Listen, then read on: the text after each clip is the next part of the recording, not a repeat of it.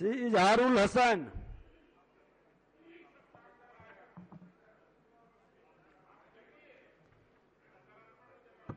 किशनगंज जिला अंतर्गत ठाकुरगंज प्रखंड में ग्रिड सब स्टेशन प्रस्तावित है। अब तक कार्य संपूर्ण नहीं होने के कारण बिजली आपूर्ति ठाकुरगंज एवं पोठिया प्रखंड में निरंतर बाधित रहता है जिसके कारण लोगों को काफ़ी दिक्कतों का सामना करना पड़ता है। ग्रिड सब स्टेशन बनाने की मांग करता हूँ। मोहम्मद इजहार अस्फी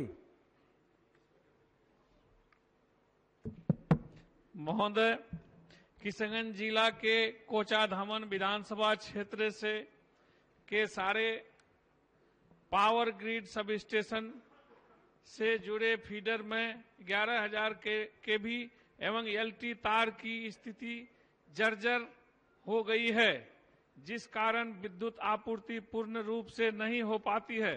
अतः मैं सरकार से मांग करता हूँ कि विभागीय जाँच कराकर अभिलंब नया तार लगाने का लगाया जाए। श्री अख्तरुल इमाम।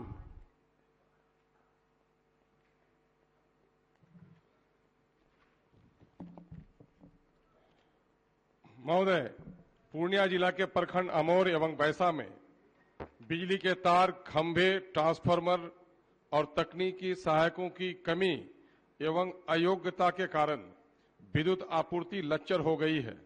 भीषण गर्मी में मात्र चार से पाँच घंटा बिजली मिल पाती है जिस कारण आम जनों में काफ़ी आक्रोश और रोष है। अतः मैं बिजली व्यवस्था को सुधार करने की मांग करता हूँ। Shri B R Vidyasagar Kesari.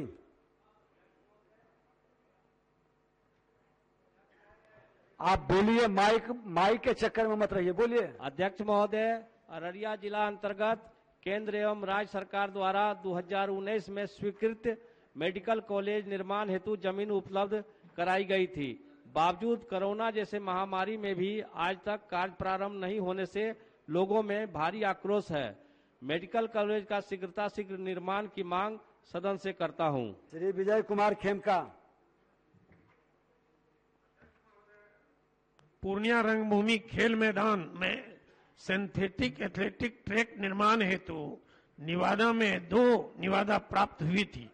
जिसे तकनीकी कारण से रद्द किया गया, उक्त नियम अन्य राज्य में लागू नहीं है। अतः मैं सरकार से उक्त ट्रैक निर्माण हेतु बिहार में निवादा नियम संशोधन कर शीघ्र निविदा कर निर्माण कराने की मांग करता हूँ।